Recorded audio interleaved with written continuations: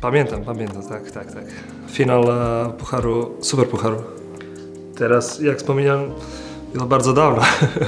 E, dwa, dwa lata ubiegli, także e, no, bardzo dobre wspomnienki mam, mam na to.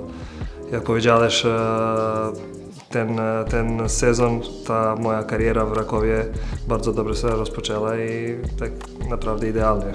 Wygraliśmy ten super puchar i strzeliłem ostatni kamień. No, oceniam w ogóle pozytywnie.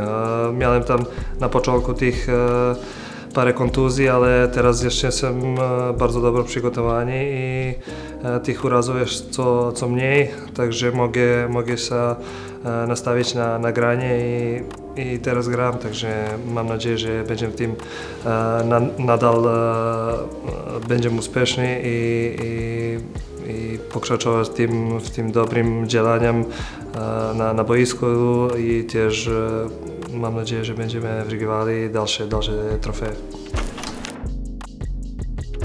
Najwięcej jako, jako piłkarz, no, bardzo dużo progresu na, na różnych tych pozycjach na, na boisku albo tych działaniach, a też jako człowiek myślę, że chłopaki też wpłynęli dużo pozytywów na mnie, także cała szatnia mi pomagała i jesteśmy lepszym piłkarzem i oczywiście lepszym człowiekiem. Oczywiście wszyscy wiemy, co, co chcemy osiągnąć w tym sezonie, to jest mistrzostwo i myślę, że idziemy tą dobrą drogą do tego. I jak nam się to uda, dalej jest ten cel wygrać w pucharach europejskich.